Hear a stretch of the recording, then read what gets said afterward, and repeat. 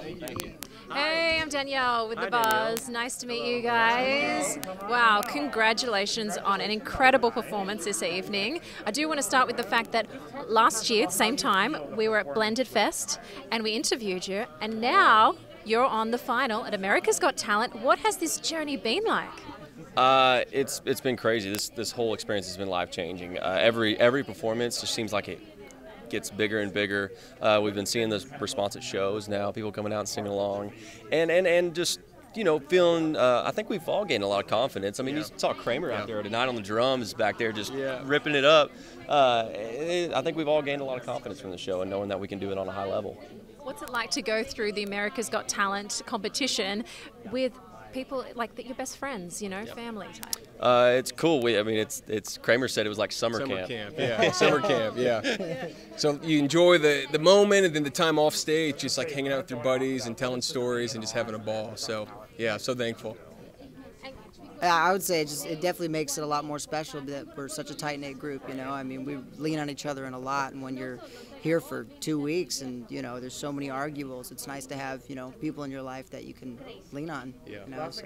You can see that how close you are, especially in your performance as well. And you made a risky decision this evening that paid off by performing a song that you've already performed. So talk to me about how you decided to do that.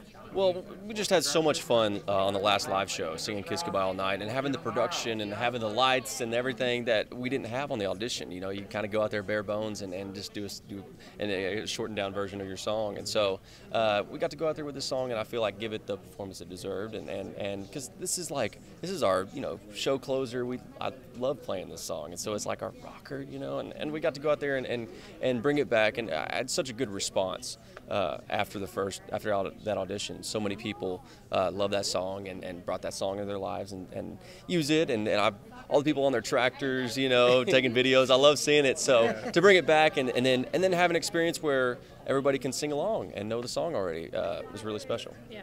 And that was the song that went number one, right? It did. It did win. It went number one after the audition. So hopefully it goes back up there again after this one.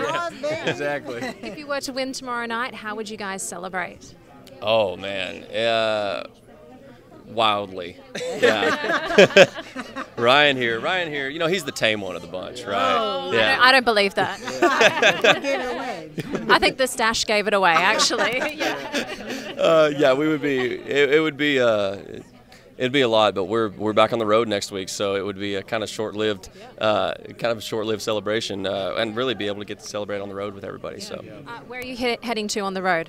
Uh, we're headed back. We're headed. I'm playing uh, Billy Bob's next week. Billy Bob's in my hometown of Fort Worth. Uh, it's a huge, uh, historic uh, country music venue. I, I grew up grow, going there and, and sneaking in and getting kicked out all the time. It's like a giant honky tonk bar, and uh, we'll see. Hopefully, I don't get kicked out this time. Is this your first time performing there? First time playing there. It's a huge. I mean, this is a dream come true to get to play a venue like I was about to that. say it's come full circle. Yeah, yeah, and it's all because of AGT. So. Wow, amazing. I can't wait to see where you go to next. I'm going to follow your journey. Thank you so much for chatting to us.